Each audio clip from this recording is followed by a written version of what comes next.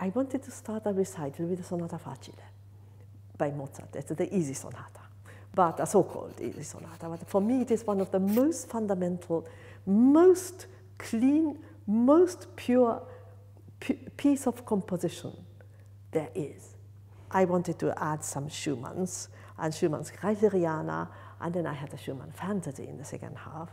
And I asked Jörg Widmann, would you write a fantasy on, the, on Schumann fantasy? And he said, no, I'm going to write on Mozart Sonata Facile.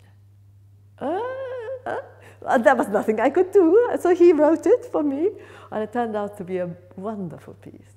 I don't ever want to repeat what I did yesterday. So that day, new day, you, you have different sensibilities, sensitivities, different way of seeing the world. You are breathing differently. You haven't transformed into an elephant overnight, but you can't be exactly doing what you did yesterday. You hear the note in a particular hall, and then from there you start.